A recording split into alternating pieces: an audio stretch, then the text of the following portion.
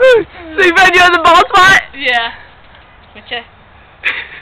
I told you so. Let me see how it came out. Oh, oh. You want to see how it came out now? She's trying to attack me with her bald hair. That's fake. It's a manly hair.